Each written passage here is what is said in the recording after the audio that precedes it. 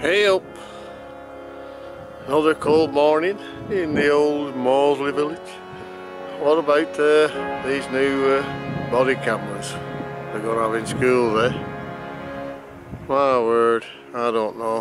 What's it come to now? We'll be having uh, cameras everywhere. I like a camera, as you can see. I love camera. I love trying to see what a camera will do. But having to have a body cam on when you're a teacher, eh? And only just over a third of teachers say they they will wear them. Two thirds said they would they didn't want to do. What's what's happened to democratic country we're supposed to live in? So I think we should have them at home as well. And then we could see what how we're bringing our kids up at first place. The kids are brought up proper. See where the uh, they would do what they were told and they wouldn't misbehave in class.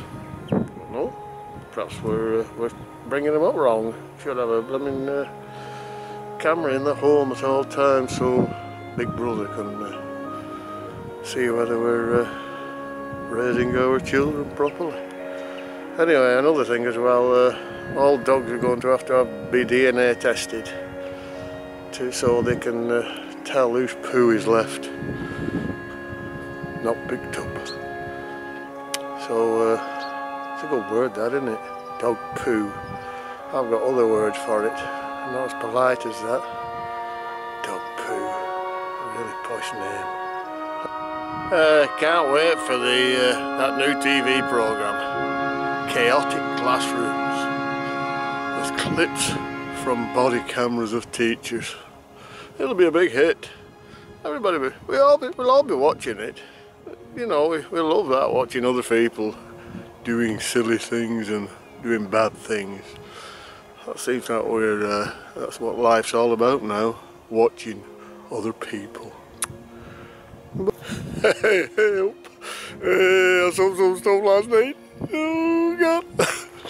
I I don't know how many, how many bottles, bottles of this stuff last night. My God, it you good.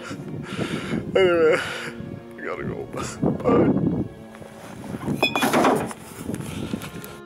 Today is just one of them days where you just want to walk and your nose wants to run.